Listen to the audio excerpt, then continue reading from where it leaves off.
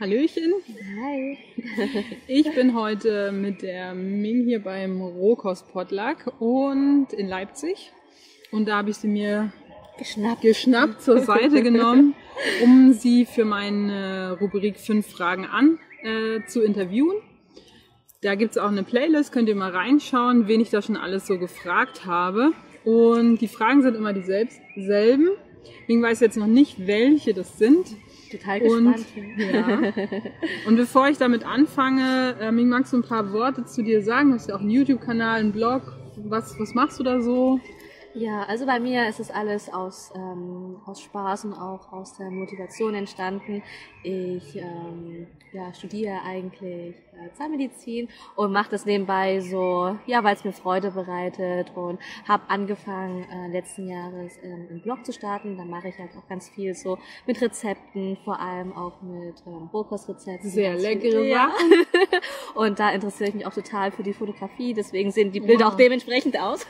Unbedingt angucken. Könnt ihr gerne mal wirklich- vorbeischauen, Ja. ja. Und ähm, ja, YouTube habe ich jetzt ähm, auch angefangen, aber naja, das ist jetzt nicht so das, was ich eigentlich machen möchte. Hm. Und habe jetzt auch jetzt die Zeit jetzt nicht dazu, aber ja, mal gucken, wie es sich ergibt. Und wenn man das nicht aus Freude macht, dann denke ich mal auch, es ist auch nicht der richtige Weg. Ja. ja. Genau. Ja, ansonsten ähm, ja, interessiere ich mich auch so für Ernährung, für die Zahngesundheit, auch für das Ganzheitliche. Und ja, so viel zu mir erstmal. Danke für den kleinen Einblick. Genau, und dann lege ich mal los mit der ersten Frage. okay. Habe ich denn auch noch Bedenkzeit? Ja, du kannst dir, du kannst dir eine schlaue Antwort überlegen. Eine schlaue Antwort. Oder eine poetische oder wie auch immer. ja, also die erste Frage ist ähm, so ein bisschen zu deinem Weg. Wie, wie bist du so darauf gekommen, dir Gedanken zu machen und ähm, so bewusster zu werden, zu, dich bewusster zu ernähren und so? Gab es da irgendwie so einen Auslöser oder wie fing das an? Kannst du dich daran erinnern? Ja, definitiv. Also Wendepunkt bei mir war ja dann wirklich, dass ich ähm, 2015 ähm, bin ich halt so in eine Art auch Essstörung geraten. Das heißt, ich hatte überhaupt gar keine Freude mehr gehabt am Essen. Wow. Ich habe ähm, wirklich Kalorien gezählt und das tat mir echt überhaupt überhaupt gar nicht gut. Und dann bin ich äh, durch ein durch einen Zufall auf das ähm, in Leipzig gekommen. Und habe halt so gesehen, ja, was sie da essen, wie interessiert sie sich dann auch sind die Menschen für für Ernährung, für gesunde Ernährung. Und das war dann auch so so ein Umdenken bei mir, was dann stattgefunden hat, dass ich dann äh, doch in die äh, Rohkost dann mehr gehen möchte, einfach um mich selber zu erfahren und weil das auch für mich ein neues Terrain war und habe dann gemerkt, wie viel Spaß mir das auch bereitet hat. Und ich habe auch wieder angefangen, ähm, mit Genuss zu essen und da hat mir die Rohkost wirklich sehr geholfen. Und ja, durch die Rohkost hatte ich dann auch das Gefühl, dass mein Bewusstsein sich dann noch mehr erweitert hat. Ich habe viele Dinge dann auch intensiver wahrgenommen und auch viel, viel mehr und auch viel bewusster. Und das fand ich eben auch schön, dass der Prozess dann am Laufen war und jetzt immer noch am Laufen ist und man erfährt sich immer wieder aufs Neue neu. Mhm. Und das finde ich eben auch schön. Genau. Und eigentlich durch die Rohkost bin ich dann auf den Weg des ähm, Bewusstseinswerdens gekommen. Das finde ich sehr spannend, so dass Dieses du, änder, du änderst ein Detail an deinem Leben so mit dem Essen, was ja ein großer Teil ist, Mhm. und dann geht es in alle Bereiche rein irgendwie, Genau? Mhm. das ist bei manchen fängt es wie gesagt mit der Ernährung an. Mhm. Manche gehen halt gleich in, in, in dieses Bewusstsein rein und dann erst in die Ernährung. Also Mhm. ganz spannend, wie viele Menschen dann auf dem Weg dann sich selber erfahren auch. Ja. Ja. Bei mir war es ja so, dass ich halt erst über die Psyche angefangen habe, ne, mit durch, Mhm. als in meinem Beruf als Heilpraktikerin und Ja. ich da halt eher so psychosomatisch halt an die Krankheiten rangegangen bin Mhm. und dadurch halt also drin war. Also es gibt wirklich Ja. so viele Menschen, so viele Wege. Und jetzt, wo du das gesagt hast, dass du 2015 da beim Rohkostpotluck halt hier angefangen hast, da, ich Ja. kann mich noch ganz genau erinnern, als du, wie du da mit deinen Sachen kamst, du hattest, glaube ich, zwei Freunde dabei Ja. und so, du hattest auch mal so Panda-Bären oder irgendwie so Ja, Bärchen genau. gemacht. Da hat man sich noch richtig Mühe gegeben. Und jetzt bei dem Potluck, was isst man jetzt? Einfach nur Obst und Gemüse, Obst und Gemüse, so wie es in der. Natur vorkommt. Genau, und das finde ich aber auch total schön, dass man jetzt nicht so, so viel dem Essen jetzt die Aufmerksamkeit gibt, sondern Mhm. einfach nur auch dieses, dieses Drumherum, Ja. dass man sich mit den Menschen umgeht, dass man auch äh, mit den Menschen sich austauschen kann und nicht, dass das Essen im Vordergrund steht. Ne? Und das finde ich auch echt richtig wichtig. Und das Ja. ist auch so ein Riesenthema bei mir mit dem sozialen Aspekt. Mhm. Ne? Eine schöne Überleitung für meine nächste Frage. Also, als hätte ich es gewusst. Ja, nee, ich nutze, ich greife das jetzt einfach mal auf. Ach so, Ähm, klar. Was, ähm, was ist dir wichtig im Leben? Mhm. Was gibt so Aspekte, die, die du Wert legst? Ja, also muss auch echt derzeit sagen, dass der ähm, soziale Aspekt auch gerade so ein Riesenthema bei mir, ich, bei mir ist. Ähm, dass ich auch, es ist halt total witzig, weil ich bin jetzt gerade auch so ein bisschen in, in so einer ähm, Umbruchsphase. Das heißt, ähm, ich habe mich ja wirklich jetzt, oh Gott, fast zwei Jahre äh, von veganer Rohkost ähm, ernährt, beziehungsweise habe mich da dafür interessiert. Und ähm, Anfang 2016 habe ich das ja dann komplett durchgezogen bis vor kurzem. Und ähm, ich habe aber gemerkt, dass ich mich da nur noch im Kreis drehe. Es ist nicht mehr so dieses, diese, diese, dieses Thema Ernährung, das ist nicht ähm, das Wichtigste für mich im Leben ist, weil viele, die identifizieren sich dann damit und es wird dann auch manchmal krankhaft. Und dann merkt man, die reden dann nur noch von Ernährung und nur noch und, und befinden sich dann nur noch in dem Bereich, und wo ich mir denke, hey, wo ist denn eure Lebensfreude jetzt auf einmal hin und auch dieser dieser auch dieser Genuss an, am Essen und das hat mir dann auch in der Zeit so total gefehlt und ich wollte es immer nicht Mhm, wahrhaben, ja. weil ich mir dann auch gesagt habe, na ja, Rohkost, jetzt habe ich einmal damit Mhm. angefangen, Ja, jetzt ja. möchte ich es gerne durchziehen. Und das war Ja. Mhm. aber, das hat sich dann nicht mehr richtig angefühlt. Und auch immer diesen Glaubenssatz, na ja, das ist jetzt nicht, ist jetzt nicht roh, deswegen erlaubst du es dir jetzt nicht mal eine gekaufte Pflanzenmilch zu trinken, weil es halt eben nicht roh ist. Und das habe ich gesagt, nee, ich möchte mich von den, von den Mhm. Gedanken einfach loslösen. Und das Wichtigste für mich ist dann auch, dass, dass man auch in Gesellschaft Mhm. zufrieden ist, glücklich und auch ähm, ja, die anderen daran teilhaben lässt. Und dass man nicht so, so dogmatisch rangeht und sagt, na ja gut, jetzt ist man bei der Rohkost und bleibt man jetzt immer dabei. Ja. Ja. Und du, bringst das jetzt damit in zusammen, oder du, dein Au- Ausgangspunkt war ja das sozusagen das Soziale und du hast jetzt Mhm. das Gefühl, wo du dich quasi mehr öffnest wieder, Mhm. dass du sozusagen mehr vegane, also so gekochte oder zubereitete Sachen Mhm, auch isst, dass genau. du da kompatibler irgendwie mit mehr Menschen bist oder wie- wieso hast du das jetzt so in Zusammenhang gebracht quasi, dass du jetzt nicht mehr dich roh, komplett roh ernährst? Das öffnet für mich dann auch, ähm, auch verschiedene Türen und auch andere Welten, weil ich auch gemerkt habe, man selber ist trotzdem irgendwo in irgendeiner Sache immer noch total unbewusst.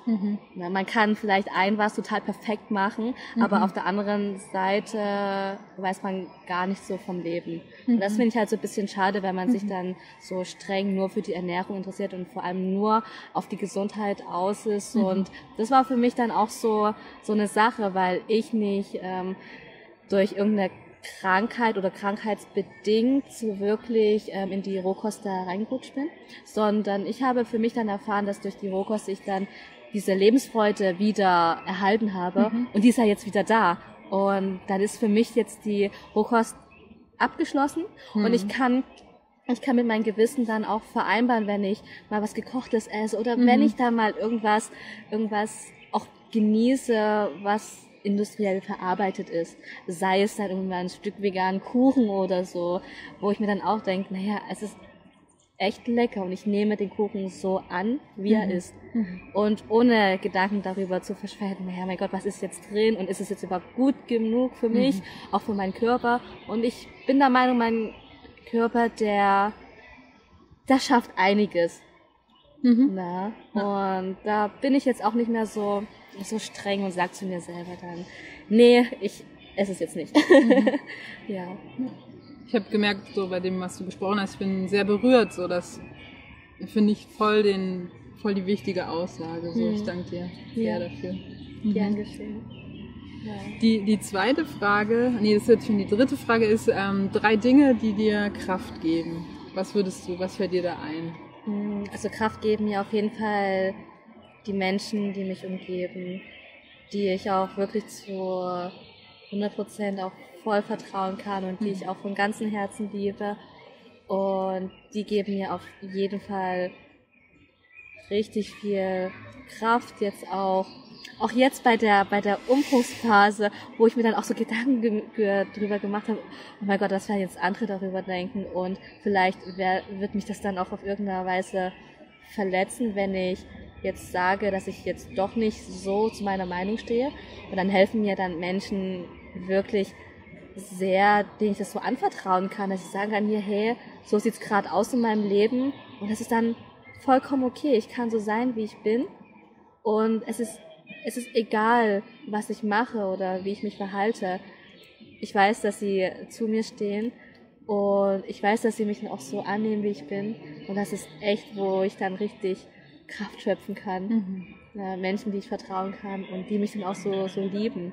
Das Voll ist das wirklich, Geschenk. Ne? Das ist echt richtig. Mhm. Also das hat man auch so selten, auch so Freundschaften hat man so selten, dass die so auch so tief sind.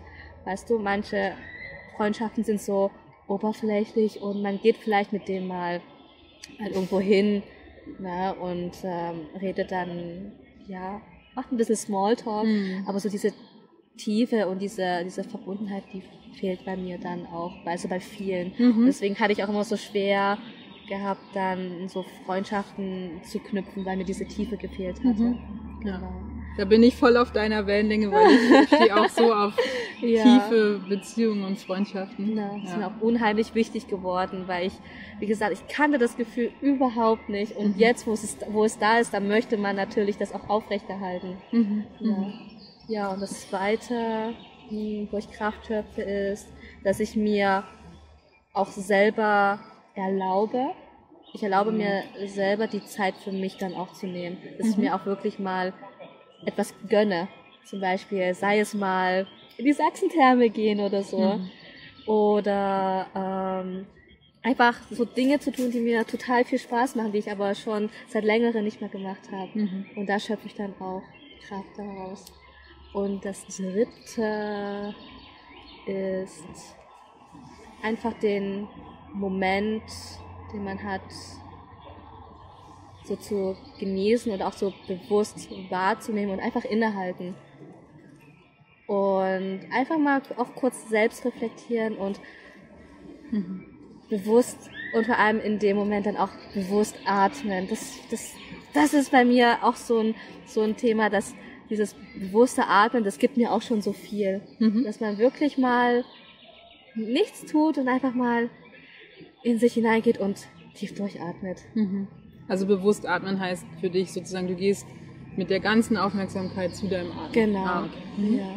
ja. Und da bekomme ich auch dann so ein Flash daraus und das fühlt sich richtig gut an. Mhm. Ja. Schön. Genau. ja, bist du bereit für die vierte Frage? Ja. Ja, ja, hier, ihr kriegt das ja gar nicht mit, aber hier sind so viele Mücken. Oh wir versuchen das die ganze Zeit zu so, ignorieren. Zu unterdrücken. Aber ja, ja. Äh, mal gucken, vielleicht äh, kannst du ein bisschen schneller antworten oder so. Nee, wir stehen das hier schon muss durch die, zusammen. Muss die Geschwindigkeit ein bisschen erhöhen? Ja. Nein. Äh, nee, ich, ich bremse mich die ganze Zeit gerade. Du gibst mir so viele Punkte, wo ich irgendwie ein, ja. ein so nachfragen möchte, ja. aber ähm, ich will es jetzt hier auch nicht zu ausdehnen, so weit ausdehnen. Ja. Ähm, die vierte Frage ist, ob du oder was für einen Tipp hättest du für die Menschen, die das jetzt schauen, für ein zufriedenes Leben? So. Sich selbst zu lieben. Sich selbst zu lieben. Ja. Als, erst, als erstes ist wirklich diese Selbstliebe zu finden. Und alles, alles ist ja schon, alles ist schon da, alles ist pure Liebe. Aber wenn du das so für dich selbst noch nicht erkannt hast, dann ist es schwierig, wirklich ein glückliches und auch zufriedenes Leben zu führen. Mhm. Ja. Und ja, das. Hast du da so einen Tipp, wie, wie kann man den Zugang finden zur Selbstliebe? Sich mit Menschen zu umgeben, die dir gut tun. Mhm. Mhm. Genau. Voll schön, ja. Ja, definitiv. Ja, cool, danke. ja. Ja, und äh, die jetzt, letzte, letzte Frage. Die letzte Frage. Dann sind wir durch. So, ich antworte jetzt mal ganz kurz. ja, genau. Äh, ein Wort. Äh, okay. Nee, die, die letzte Frage ist, ob du ein Herzensanliegen hast, was dich so bewegt, was du gerne irgendwie in die Welt rausgeben willst, wo du merkst, das ist mir wichtig, das liegt mir am Herzen. ähm, das möchte ich in die Welt bringen. So. Ja, da mh, fällt mir ein Spruch ein, den ich auch wahnsinnig schätze und den ich auch richtig gut finde, und zwar von äh, Mahatma Gandhi, Mhm. der dann auch sagt, ähm, sei du selbst die Veränderung, die du dir wünschst für diese Welt. Mhm. Und dass man wirklich selber nochmal reflektiert, was mache ich hier und was ist oder was ist überhaupt der Sinn in meinem Leben oder welchen Sinn gebe ich dem Leben jetzt? Und da soll jeder für sich selber die Antwort finden. Und ja, da kann man sagen, einfach dem Herzen folgen. Mhm. Genau. Das ist mir wichtig. ja.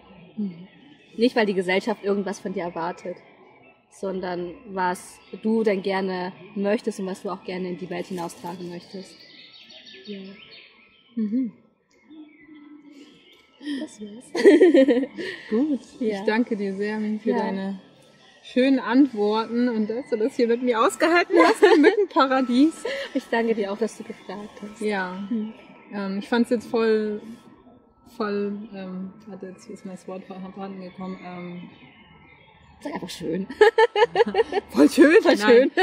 ich fand es bereichernd, es war so ein schönes Geschenk. Also ich merke immer wieder, ich habe ja jetzt schon einige Interviews geführt und Mhm. ähm, es ist immer so be be be bereichernd, Mhm. irgendwie diese Antworten. Und jeder sagt, manche ähn Sachen ähneln sich, manche sind ganz unterschiedlich. Mhm. Finde ich voll spannend. Ja. So wie du gesagt hast, jeder Mensch hat so eine eigene Geschichte und Mhm.